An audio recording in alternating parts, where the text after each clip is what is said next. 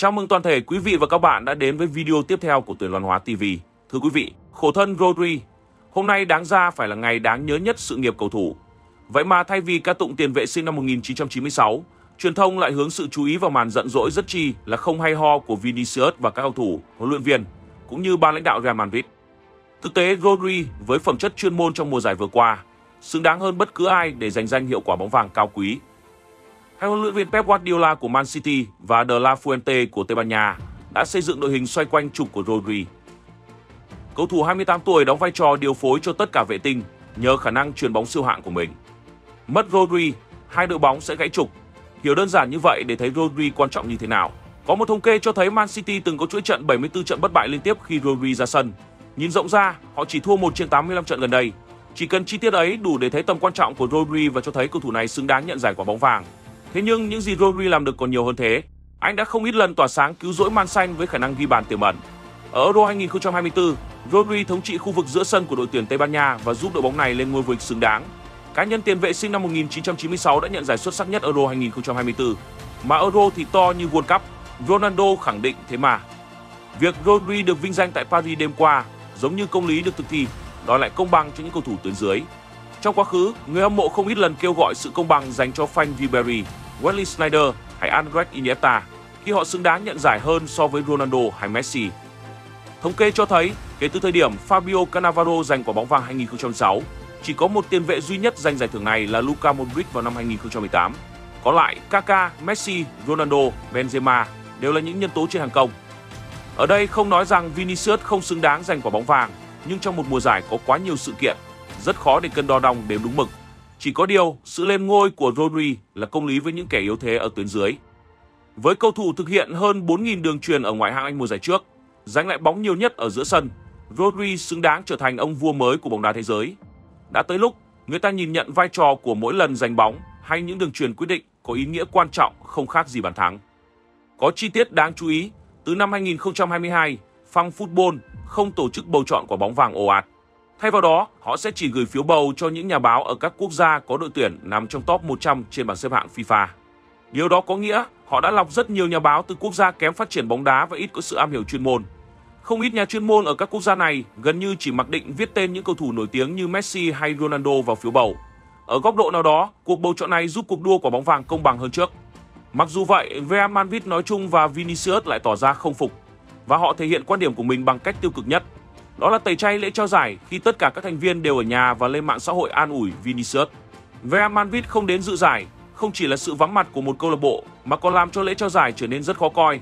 Trong một cuộc trao giải, người chiến thắng thường nhận được sự vỗ tay tán thưởng của người về nhì và về ba.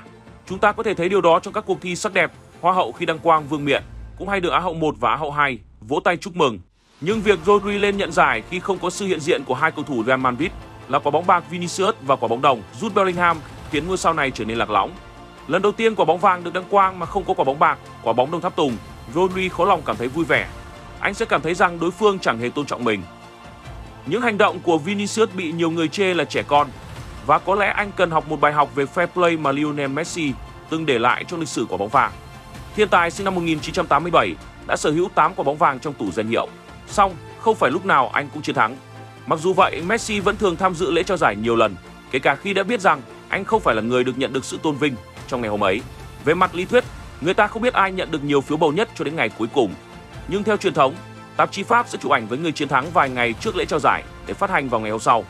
Bất kỳ ai được mời đến buổi chụp ảnh này đều là người chiến thắng. Theo Mundo Deportivo, hành động này cho thấy sự tôn trọng của Messi đối với giải thưởng và các đồng nghiệp. Trong 6 lần thất bại của Messi trong cuộc đua quả bóng vàng, có 5 lần ép để thua Cristiano Ronaldo. Lần còn lại diễn ra vào năm 2007 khi người thắng giải là Kaká. Ronaldo nhận quả bóng bạc, còn Messi có quả bóng đồng và các cổ động viên liên tục dành những lời lẽ đẹp nhất để ca tụng Messi. Nhìn cách hành xử của Messi thật trái ngược với Vinicius. Đó là sự khác biệt giữa siêu sao và cầu thủ giỏi. Một tài khoản viết trên X. Cổ động viên khác lên tiếng, đẳng cấp của Messi khó bàn cãi. Nếu năm nay anh ấy được đề cử thì sẽ tiếp tục xuất hiện tại lễ trao giải mà thôi. Đây không phải là lần đầu tiên một ứng viên không tham dự lễ trao giải. Năm 2018, Ronaldo biết chắc đồng đội cũ Luka Modric giành giải nên quyết định ở nhà.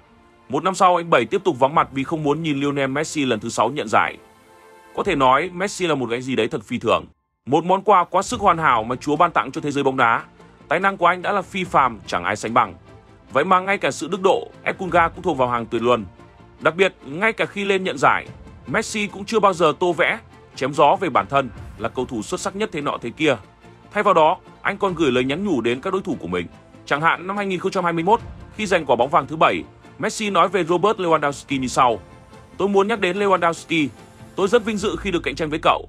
Mọi người đều đồng ý rằng năm ngoái cậu xứng đáng đoạt giải này. Tôi nghĩ fans football nên trao bóng vàng cho Lewandowski. Cậu ấy xứng đáng đem danh hiệu đó về nhà.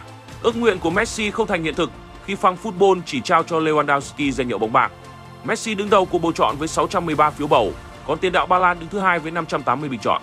Jorginho nhận quả bóng đồng với 460 phiếu bầu. Ở đầu lễ trao giải, ban tổ chức công bố thêm giải thưởng mới, đó là tiền đạo xuất sắc dành cho Lewandowski. Anh đã ghi 53 bàn cho Bayern Munich trong năm 2021, trong khi Messi ghi 32 bàn. Năm 2020, fan football không trao quả bóng vàng vì các giải đấu, đặc biệt là League 1 bị ảnh hưởng nặng nề vì Covid-19. Lewandowski không nhận được bóng vàng nhưng đổi lại, anh nhận được FIFA The Best. Khi đó, Lewandowski được 52 điểm bình chọn. Ronaldo đứng thứ hai với 38 điểm, còn Messi được 35 điểm. Đến năm 2023, Messi lại một lần nữa trở thành chủ nhân của quả bóng vàng. Lần này, anh cũng có đôi điều nhắn nhủ tới người đàn em Erling Haaland. Tôi tin chắc, năm tới Haaland sẽ giành quả bóng vàng. Haaland rất xứng đáng với điều đó. Cậu ấy đã vô địch giải ngoại hạng Anh, vô địch Champions League trong khi còn đứng đầu danh sách ghi bàn ở mọi giải đấu. Danh hiệu quả bóng vàng năm nay cũng rất xứng đáng dành cho Haaland. Chính vì cách ứng xử tuyệt vời này mà từ Lewandowski lẫn Haaland đều rất nể phục và họ đăng ảnh chúc mừng Messi. Còn với Vinicius, nếu muốn trở thành một tượng đài vĩ đại như Epulga, hãy học hỏi đúng người, đúng địa chỉ.